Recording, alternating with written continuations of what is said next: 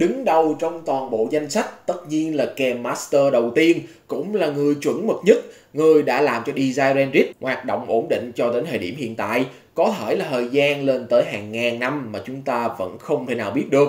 Và kèm Master đó chính là Jidori, người mà chúng ta đã hiểu lầm ở đoạn đầu phim khi ông ta cố hãm hại Ace và bị tan biến bởi sức mạnh của Ninram.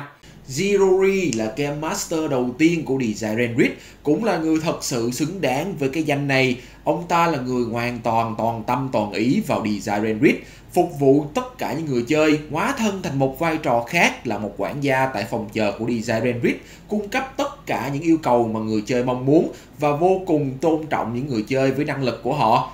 Ông ấy rất quan tâm tới từng người chơi từ việc họ bị thương cho tới ai sẽ trở thành disaster Mọi việc ông đều hoàn thành một cách hết sức hoàn hảo. Đứng sâu bên trong bóng tối là danh phận thật sự Game Master.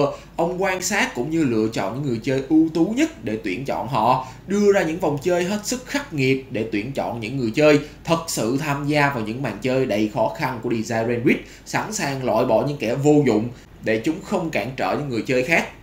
Ông sẵn sàng cung cấp những vật phẩm nâng cấp giúp những rider chiến thắng Yamato, thứ mà ông coi thật sự là kẻ thù mặc dù đây chỉ là một chương trình giải trí cho đám người tương lai.